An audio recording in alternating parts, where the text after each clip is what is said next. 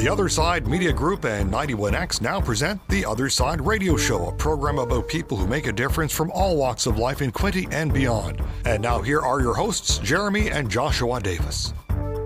Hi, and welcome again to a very special episode of The Other Side Radio Show. I'm Jeremy Davis. Well, today on the show, we have special guest Jill Raycroft of the Belleville Chamber of Commerce and Suzanne Andrews of the Quinte West Chamber, followed by a special message with Quinte West Mayor Jim Harrison. And of course, we have my co host, co producer, best friend, and renowned Canadian author J.R. Davis back on the show to give us more words of hope for the new year. You don't want to miss this. We'll be right back, everyone, after this. First up, we have Jill Raycroft of the Belleville Chamber of Commerce with her year end review. And looking ahead to 2021. Thanks once again to the Other Side Media Group for inviting the Belleville Chamber of Commerce to provide an update on the end of 2020 and our hopes for 2021 through the perspectives of our outgoing President Greg Suds and incoming President Peter Kempenaar. I want to thank them both for letting me share their messages for this segment.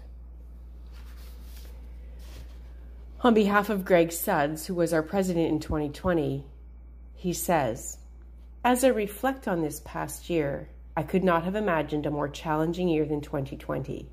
This year was not how I envisioned my term as your chamber president to play out, but in spite of all that transpired over this past year, I must say that I am immensely proud of this organization and the hard work it has done to continue to help and support our community. At the early onset of this pandemic, the Chamber quickly adapted and provided support to its members by sharing information and critical resources. This information came from our own members who generously, at no charge, shared HR and legal advice, health and safety guidelines, tax and financial advice, and more. These online sessions provided timely critical assistance to many local small businesses that did not have the time or resources to search out answers themselves. The Chamber staff, Jill, Susan, Lisa, and Anna, worked hard and kept things moving. They bobbed and weaved throughout the year, often making plans only to have them cancelled, changed, or modified. To say it was challenging would be an understatement, and yet they delivered by continuing with many successful city events at a time when others might have given up and just said no. 2020 did provide several local good news stories, as there were a number of new businesses that opened within our community, and we were happy to celebrate with them. We were also happy to see several new members join the Chamber, and we thank them for their support.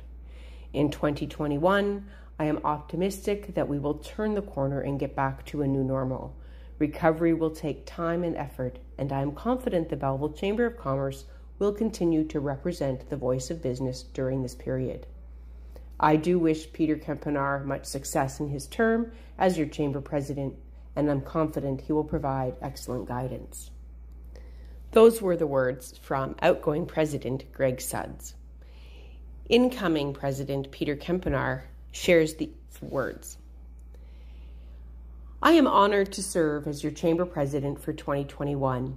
The Chamber is the voice of business, but more importantly, we are a team that cares deeply about the health and well being of businesses and agencies that drive our community and make it the great place that it is to live.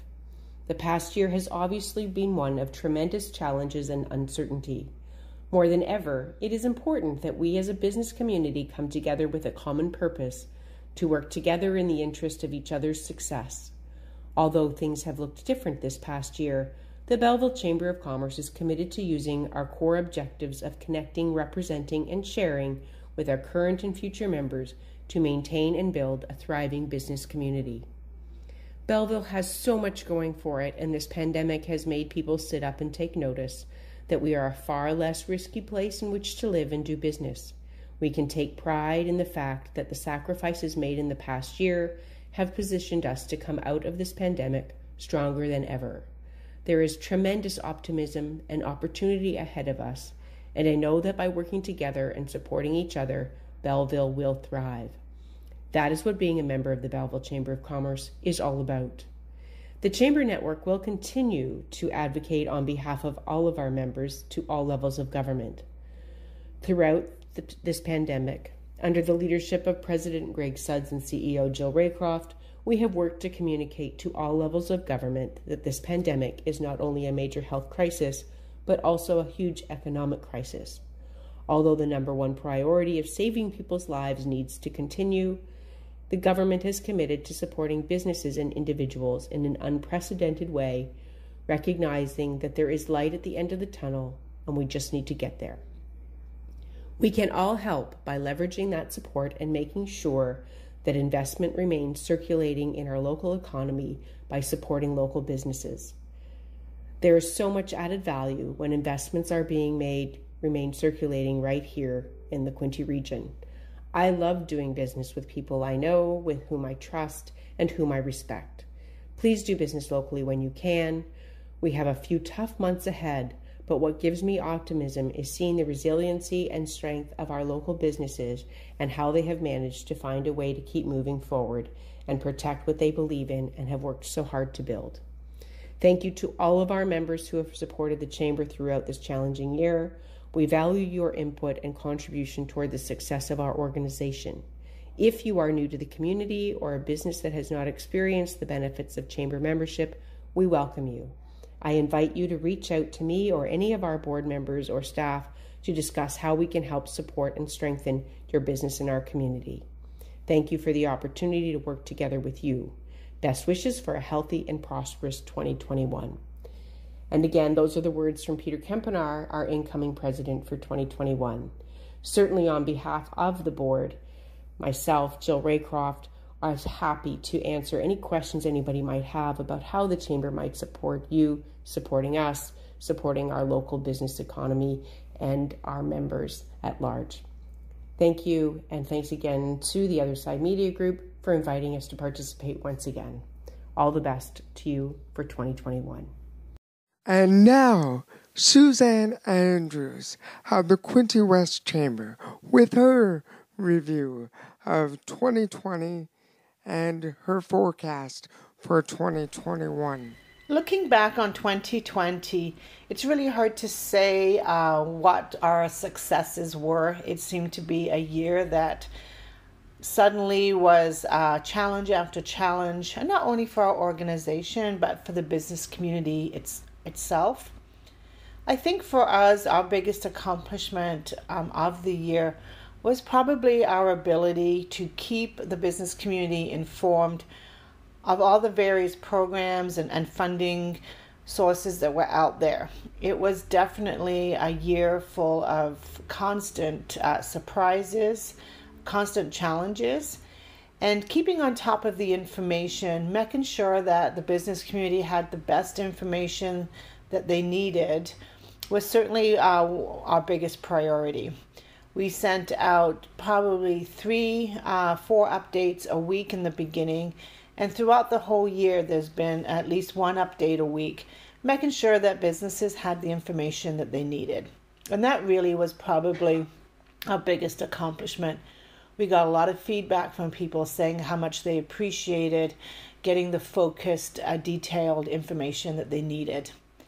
Overall, our community continued uh, to grow despite the challenges, despite COVID we had numerous new business openings, and uh, it was a real joy to join uh, Mayor Harrison and, in many instances, representatives from MP Ellis and MPP Todd Smith's office as we cut the ribbon and, and welcomed these new entrepreneurs and these new business people into our community. It was really um, great to see that uh, despite the challenges around COVID and, and the threats to many businesses, they still had faith to start their own business and, and make the investments there. So that was probably uh, some of the highlights for me too was just getting to meet those new business owners and help them with their openings help them uh, get the word out to the community that they were here and that they were going to be a part of our, our community I think, you know, as we look forward uh, to 2021, for us, it's going to be pretty much a lot of the same in the very beginning. Of course, uh, as we look to our events, uh, we're looking to see which events we feel that we can um, organize in a safe way and that will uh, we can actually do despite the restrictions uh, around COVID. And uh, some of them we've already identified that we will go forward with in a virtual format. And I think we've all gotten much better at uh, Zoom meetings and webinars and, and various uh, formats of connecting with each other uh, without being in the same room. So we're definitely uh, looking at all of our options for our events, and we hope that we can present some great options uh, to the community, uh, especially our business community, as we go throughout 2021. The uh, COVID 19 updates um, that I talked about earlier will continue to be needed. Uh, government programs uh, are evolving and changing as this pandemic drags out longer than any of us ever expected. And so uh, we're going to continue with those. We uh, also will be, you know, looking at welcoming in a new board of directors, um, making sure that our business members continue to have all the resources they need because despite the pandemic, many of the businesses in Quinte West continue to grow. They've got um, uh, customers, they've got clients uh, that are looking for their products and services, and so it's important that while we do continue to deal with COVID, that we also make sure that we are meeting the other needs of our business community as well. In 2020, uh, we celebrated our 70th anniversary uh, since we were incorporated in 1950. And so, as we go forward into this brand new year, you know, we're excited uh, to, to see what we can do differently. We're, like many other organizations, embracing technology. I think everyone has to these days. It certainly is a way to be able to uh, um, sell products, to engage with customers, to have meetings, to continue with some of the normal uh, things that we do as, as part of running an organization.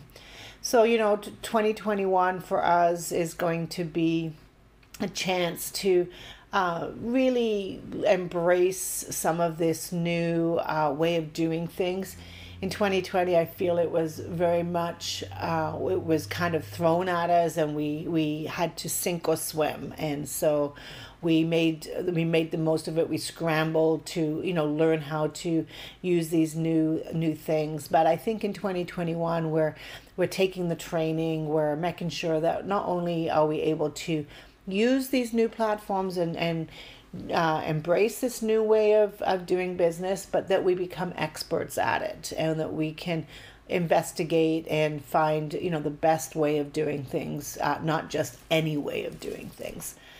So yeah so for for us that's really going to be it. Um, i think you know the vaccine is something that has given everybody a lot of hope and we certainly um, you know are looking towards a time when uh, the vaccine is widespread enough that uh, these business closures, these lockdowns, shutdowns, whatever you want to call them, are finally over, and we can all uh, get back to spending time with friends and family in, in the settings that we love. We can go and support our, our favorite restaurants and bars and, uh, you know, join gatherings of, of people in, in in settings that have been closed to us for, for many, many months of the year.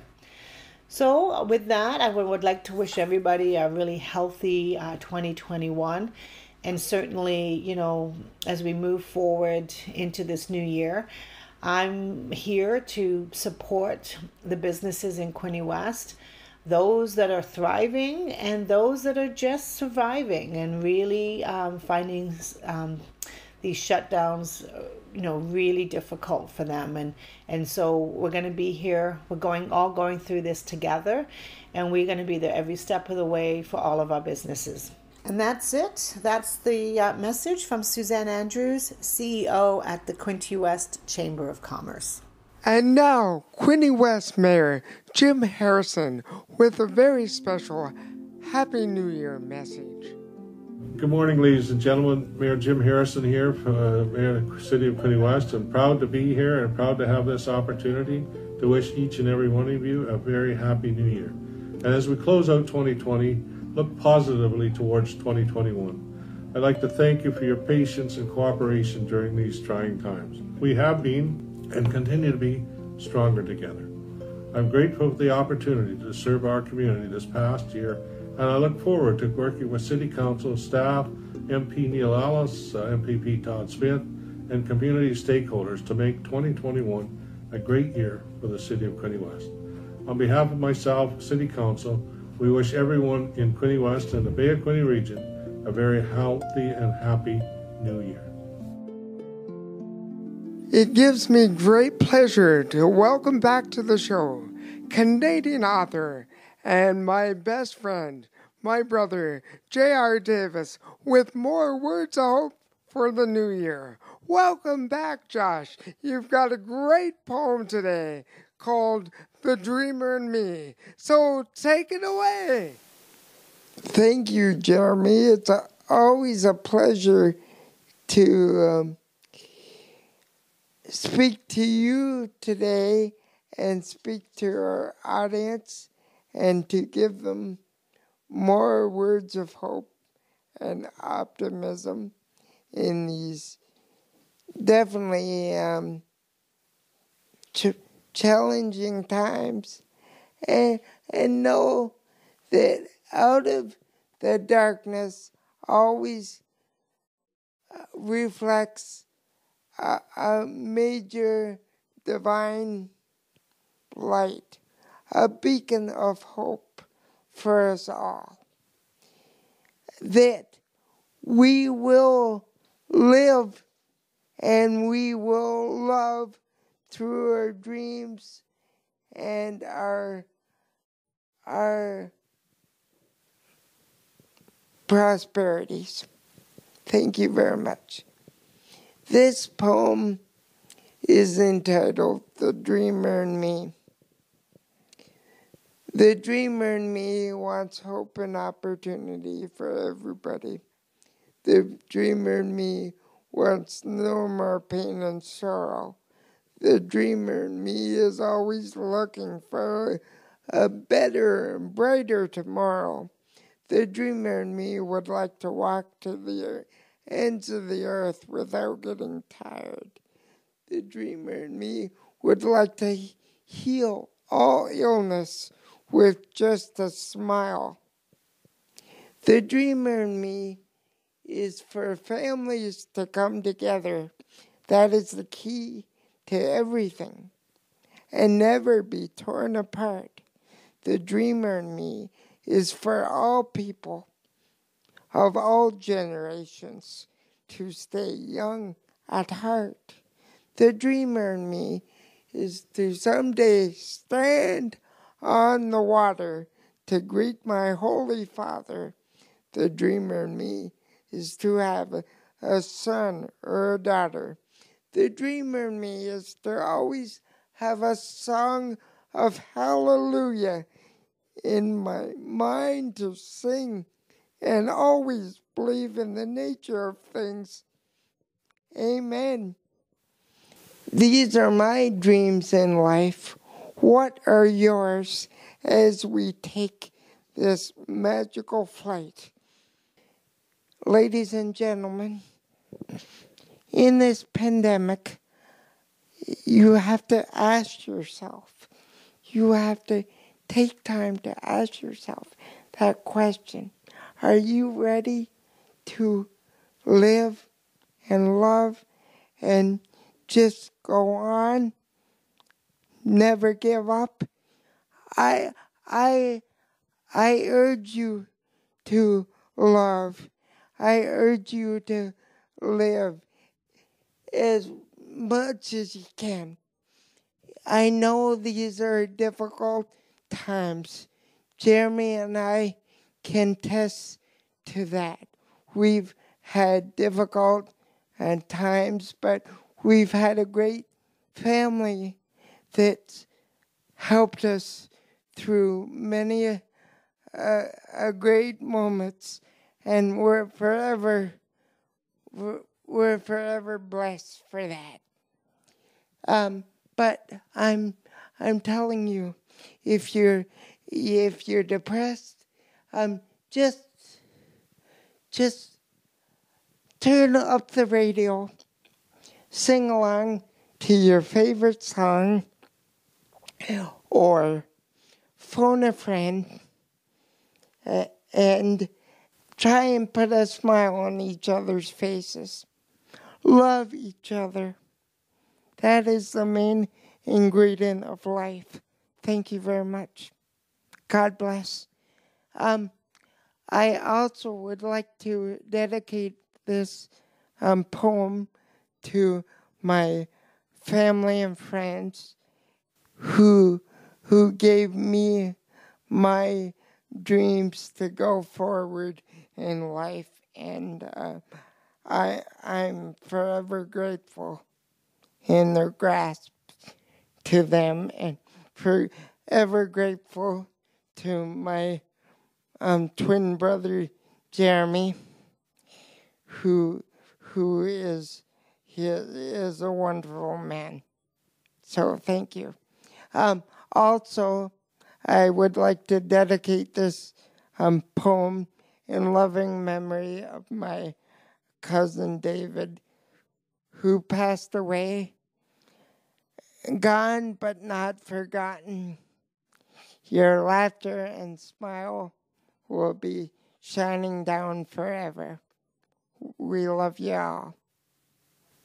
You and, and the family are amazing. Thank you. Well, that's a very special show for today. Our thank you to all our guests and to you for tuning in. Tune in next week for another great episode of the Other Side Radio Show. And on behalf of Joshua and myself, we want to thank everyone in the community and beyond who supported the Other Side Media Group's projects and services over this past year. Also, for the people who came out and supported Wonderland on the Wharf, the event um, we helped with the Rushlow family for charity. Thank you for making the holiday season bright. Here's to our, a great 2021. God bless you all. We will see you next week. Hi, I'm Caleb. And I'm Megan, and we are Instant Rivalry. Welcome to Back 40 Productions. This is our recording studio. It is one of the world's only solar powered recording studios. When I got the challenge by Jason McCoy, Megan and I put our heads together and thought, let's bring our community, Prince Edward County, together in song. So we reached out to 21 of our closest musician friends from our hometown. We brought them here to Back 40 Productions to record in a COVID 19 safe manner.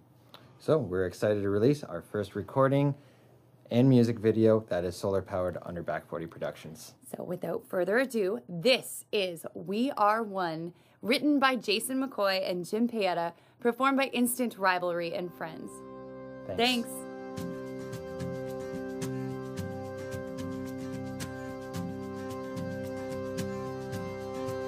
World of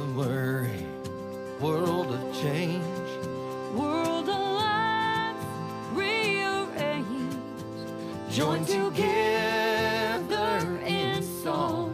We are one. We are one. We have doubts, we have fears. We share the hurt, we share the tears. We are here,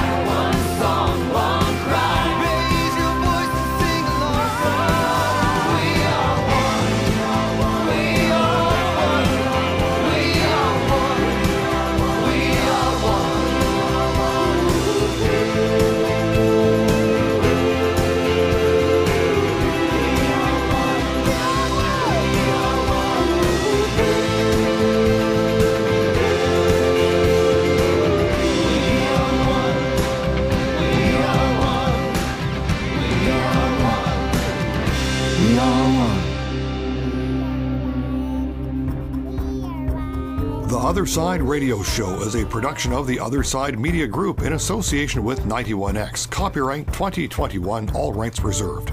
You can connect on Facebook at The Other Side Media Group, Instagram at Jeremy Tyler Davis, or on YouTube at Jeremy T. Davis, Belleville, Ontario for on demand episodes and more.